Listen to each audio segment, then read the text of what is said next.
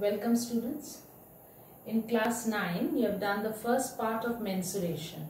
Now today we are going to do the second part of mensuration. That is circumference and area of a circle.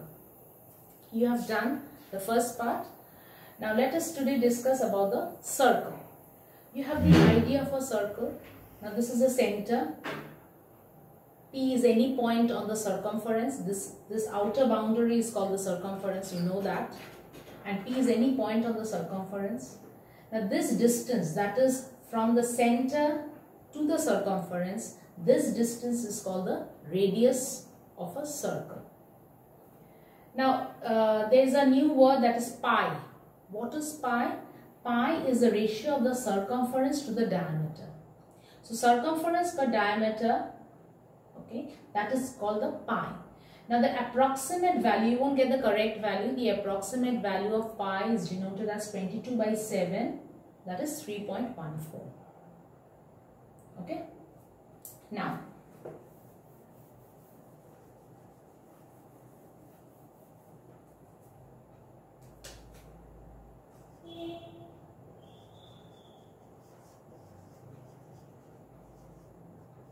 Now the circumference of a circle is given as 2 pi r where r is the radius. Area. Area of a circle is given as pi r square. Pi 22 by 7 or 3.14 according to the sum. In the sum it will be mentioned. If it is not mentioned you take it to be 22 by 7. If it is mentioned 3.14 then you have to take 3.14. So circumference is given as 2 pi r and the area of the circle is given as pi r square. Next, if it is a semicircle, we come across semicircle.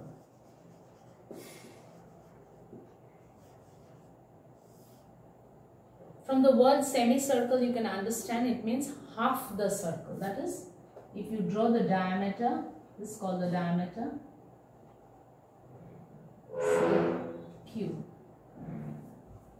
Okay, diameter is PQ. So in case of semicircle, if you consider the circumference,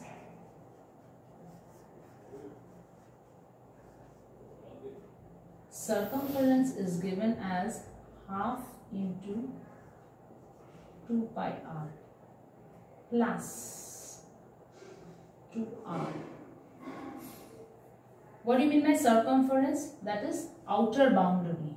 If you have a semicircle, the outer boundary is this plus this.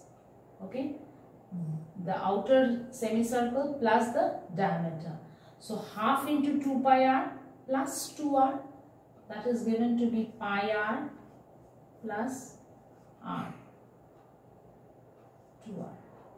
So take r common that is pi plus 2 r. This in case of semicircle, this will be the circumference. Now area half into pi r square. Half into pi r square is the area of the semicircle. Next.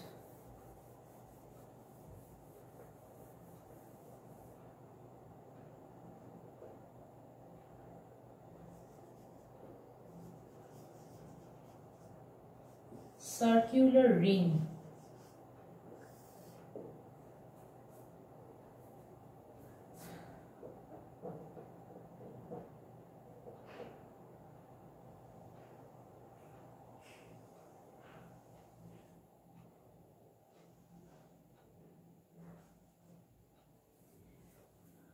Now, in case of circular ring, you can see there will be an outer boundary and an inner boundary.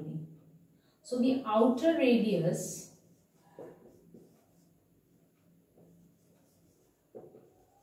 is capital R and inner radius is equal to small r. This is a circular ring. I am shading it. This shaded portion is a circular ring.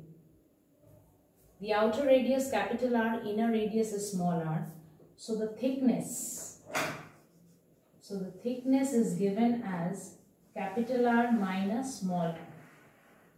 Okay. Area of the circular ring, area of the circular ring is given to be pi capital R square minus small r square. Area of the capital ring, circular ring is given as pi capital R square minus small r square. Okay, this is all about circular ring.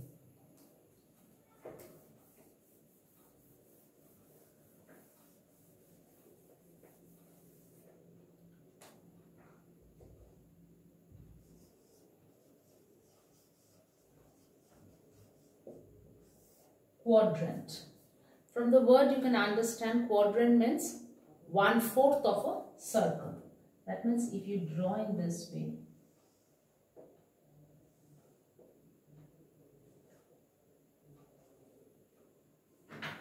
okay, quadrant.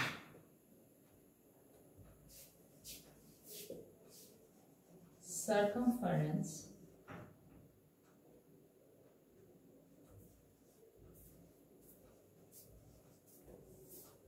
circumference means outer boundary. So 1 fourth 2 pi r plus 2r. 1 fourth 2 pi r plus 2r. So it can be taken as half pi r plus 2r. That is pi by 2 plus 2r. So this is in case of a quadrant, you deduce the circumference to be this. Next, area 1 fourth pi r square. 1 fourth pi r square is the area of a quadrant. Okay, next let us take an example.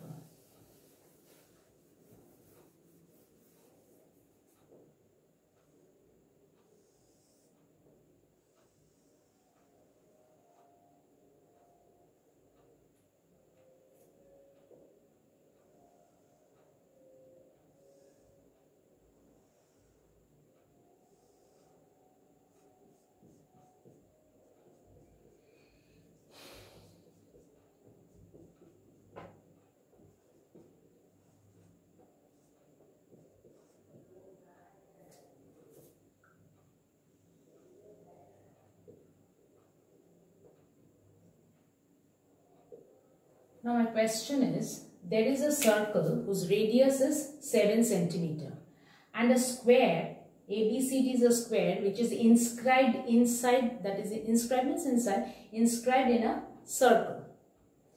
Now you are here, the question is, find the area of this shaded portion. So let us start. Area of the circle pi r square that is 22 by 7 into 7 square. 22 into 7 into 7 by 7 154 centimeter square. This is the area of a circle. Now let one side of the square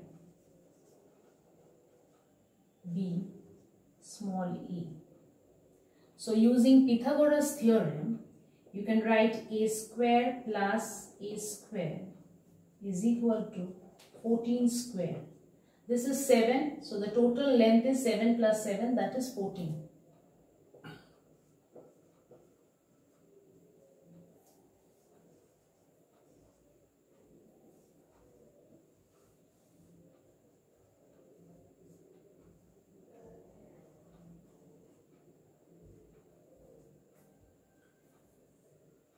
Therefore, the area of the square is 98 centimeter square. Therefore, area of the square is equal to 98 centimeters square.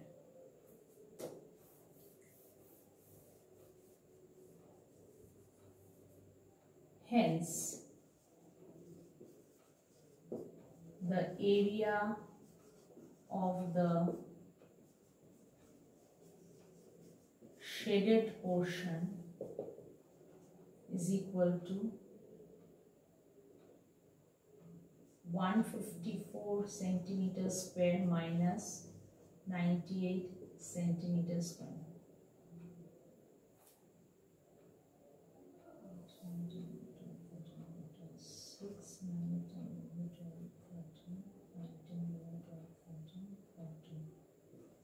86 centimeters square. Hmm.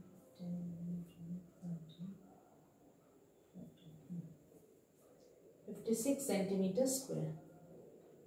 So this is how we get the area of the shaded ocean.